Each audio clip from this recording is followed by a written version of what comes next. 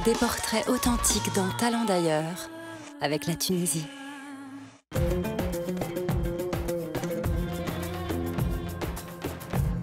Mon premier souvenir avec euh, le ballon, c'était le football.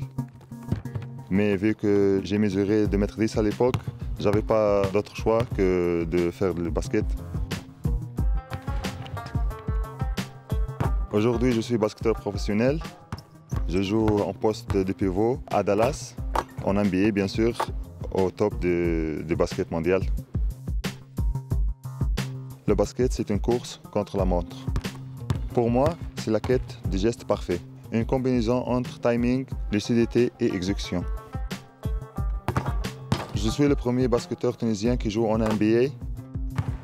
À chaque fois que je marque, à chaque fois que mon ballon fait trembler le filet de panier, forcément, je pense à mon pays.